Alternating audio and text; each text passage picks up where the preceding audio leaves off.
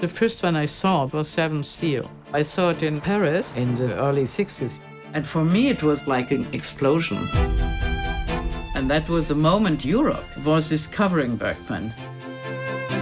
And I said, You are my master. Because of you, I became a filmmaker. So therefore, I have to do this film. This was Ingmar's favorite restaurant. He liked it because he could see the entrance and a friend and actress might come in and he wanted to know, are they seeing somebody? He threw script girls out through the door all the time. And they also said, if he stares at you, stare back. And then you stood together for, for 30 years.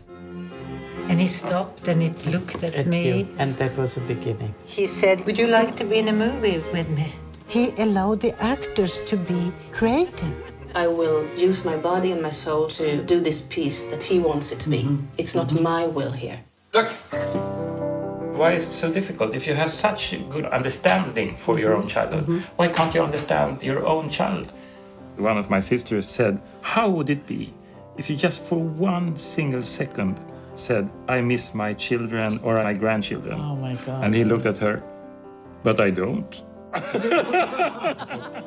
The one thing that you shouldn't forget about Bergman is that he's showing sides of himself that he's not proud of, and he dares to go there and be as honest as possible.